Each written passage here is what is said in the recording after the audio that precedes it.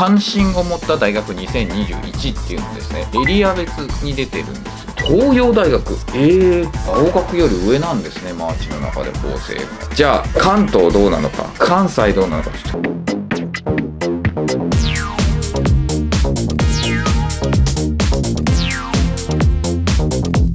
それでは始まりました、むてチャンネル。さあ、今回はですね、大学人気ランキングというのを見ていきたいと思いますね。まあいろんなランキングを見るとですね、東大が1位なことが多いんですけど、やっぱり東大系が多いんですが、他のですね、面白いサイトがあるんですけど、そこを見るとですね、株式会社、フロムページっていうとこですか？関心を持った大学2021っていうのですね、エリア別に出てるんですよ。テレメール全国一斉進学調査っていう調査らしいんですけども、そこが結構面白いのを出していますので、そちらを見ていきたいかなと思いますね。まず、全国版行きましょうか。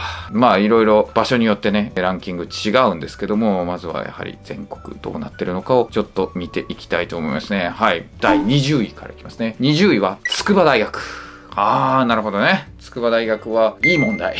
本当に英語の中で自分がですね、好きな入試問題と言われると、いつも筑波大学と答えるんですけども、いい大学でございます。えー、関心を持った人が1078人ということですね。すごい広いですからね。キャンパスめちゃめちゃ広い。バスとかで移動しますからね。続いて、19位は千葉大学。おー、1087人が言ってますね。千葉大か。まあ、自分も教育学部合格しましたけど、まあ、医学部もありますしね、いいとこではありますよね。次が意外、帝京大学。えー、18、1108人。わあ、帝京か。うん、医学部とかがあるからかな。そして次が大阪大学。を、1138。大阪大学花尾天眼のとか積分サークルでおなじみ。大阪大学ですね。そして次は関西大学。うんうんうん。次が上智。ああ、上智がここで出てくるんですね。なるほど。そして14位が東京大学。ここで東大が登場ですね。関心を持ってくれないんですかね。高校生。まあ高校生が自分が行きたいとか行けるっていう大学でこれ選んでんのかな。自分には無理だと思う人が多いからかな。関心を持った好きだからとかじゃないんでしょうかね。このランキングは一体。どういう風に作られてるんでしょう。そして次が同志社大学。ふー関西の次第のトップがここでやってきますね。やっぱ地域で出ちゃうよねこれね。次が東洋大学。え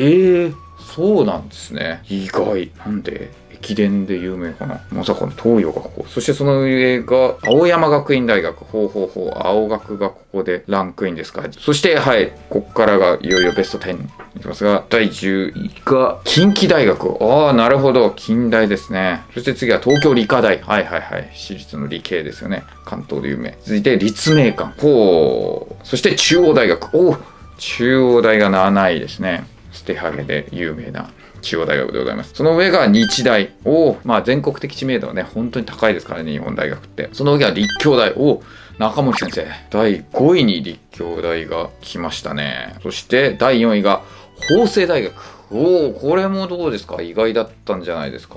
青学より上なんですね、マーチの中で法政が。えー、2324。ほう、第一志望0人じゃないんじゃないですかね。続いて、第3位が、慶応義塾大学。ああ、ここで私の慶応義塾大学ですね、出身が出てきました。2427人。第2位が、明治大学。3411票。1000票近く違いますね、慶応とね。そうなのそんなに人気ある明治って。ぱすごいな。そして1位が早稲田大学3767票ということで、早稲田が1位でした。なんてこった。医学部ないのに。慶応にはあるのに。はい。という感じですね。ええー、全国版はこういった形になりました。じゃあ、関東どうなのか、関西どうなのかちょっと気になるんで、まあ、その他のところも見ていきましょう。では、関東のですね、ベスト20いきますね。20位、芝浦工業大。ああ、そうですね。関東の人は有名ですね。次は北里。うんうん、北里も人気あります。獣医系とかね。で、駒沢。うん。そうですね。日東駒線ですから。そして千葉大。専修。おー、日東駒線。学習院。あ、来ました。林塾長。学習院が来て、明治学院。おーはいはいはい。明治学院大学もやっぱりね、関東では有名な大学ですからね。ビーアマも好きな。続いて帝京大。やっぱ帝京大人気ありますね。その上が東京大。え？ー、東京大914名で。え？ー、?12 位。損。次が、え上智大学。1186。お青学ですね。1275。東京理科。で、東洋。やっぱ東洋人気高いね。で、中央日本大学。5位慶応。あ、関東だと下がる。4位法政。法政に負けてんすか。ええ続いて3位立教。入試形態変わって人気なくなったと思いきや。次が明治。2653で早稲田ということでして、ここはやっぱ同じような感じなんですね。なるほどね。続いて、近畿地方行ってみましょうね。ちょっと下の方の名前全然わかんないので、10位から来ます。10位、大阪市立大学。うんうんうんうん。そして次が、おいてもん学院大学。いや、関東の人たち多分イメージないですよね。で、8位が大阪大学。7位神戸大。あ、神戸の方が上。で、6位が龍谷大。あ、参勤交流の流ですね。関東の人にはあんまり馴染みがないとは思うんですが、龍谷大学も人気ですね。次が関西学院大学。はい、そうですね。こちらも人気ですね。やっぱカンカン同率と言われますからね。続いて4位が同志社。え、3位が立命館。お同志社立命館の方が人気あるんですね。で、2位が関西大学で、1位が近畿大学。近大人気ありますね。参勤交流っていう言われるけど、もうカンカン同率にね、入れちゃってもいいんじゃないのってね、言われてるぐらいですからね。こういった形。じゃあ、その他の地方も見てみましょうか。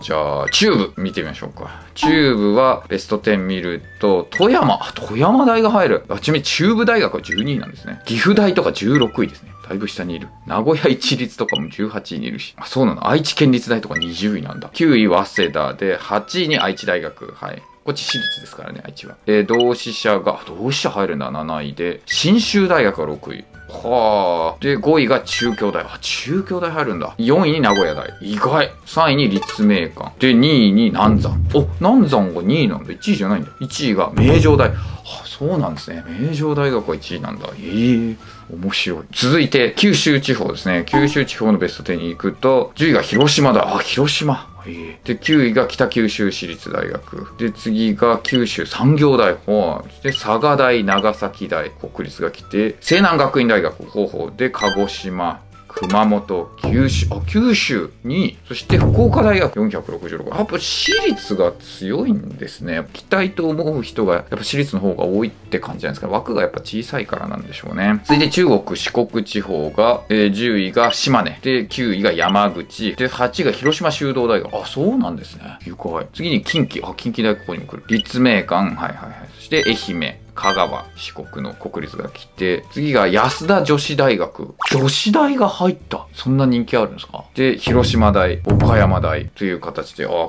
国立が多いですね。やっぱり中国、四国地方は国立志向が強いって言われますもんね。で、最後に、えー、東北ですね。東北は10位が、えー、宮城学院女子大。あ、これも女子大が入って、9位、北海学園大学。あれ？動画で聞いたことあるような。で、8位、東北福祉大。7位、岩手。ああ、岩手ですね。はい。国立ですね。そして、6位が北海道教育大。はい、そうですね。北海道人気ありますね。5位が弘前大。はい、これは国立です。青森にあるね。で、東北学院大。あ、東北学院大学4位。へえ。3位、山形。2位、東北大。1位、北海道。やっぱり国立ですね。うん、国立が人気があるていうのは、まあ、地方になれば、その割合っていうのがやっぱり多くなるっていうのがわかるんですよね。やっぱだから関東中部近畿だと、私立の割合がだいぶ多いなっていう印象ですよね。なるほどね。なんかね、早稲田は6年連続1位らしいです。この調査では。やっぱそんな人気あるんだな。まあ、希望の枠によってもあるんじゃないかとは思うんですけどね。まあ、2020年と2021年を比べたデータもあるんですけど、関東の慶応が下がってる。か滝慶応が3位だったのが5位になってる。そんなことってあり。あとは基本的にはそんなに変わらないですね。北海道東北は弘前大と東北学院大が変わっただけだし、中部は全く同じだしね。近畿だと関西大学と近畿大学の1位、が逆転してますね。神戸大学が5位だったのが関西学院に変わってるとかですね。はい。中国、四国は、あ、結構変わってるな、中国、四国。だいぶ変わってますね。岡山、広島、同じだけど、安田女子っていうのがすごい人気出たんだね。近畿大が2020は人気あったんだ。九州は、まあ上は変わってないか。ベスト3は同じですね。福岡、九州、熊本。はい。どうでしたか？皆さんのエリアではどんな風になっていますか？ぜひですね、意見お聞かせください。こんなんおかしくね？とか。あとは知りたいのは、こうだから人気なんですよっていうのをですね、その地方の方々ぜひ教えてください。僕にはわからないところもたくさんあるはずなんで、はい。といった形で、こうだから人気があるんだよね。入試問題、入試形式じゃなくて、こういうことがあっていきなり人気が出たんですとかね。そういうのあったらぜひとも教えてください。はい。ご視聴ありがとうございました。Thank you for watching.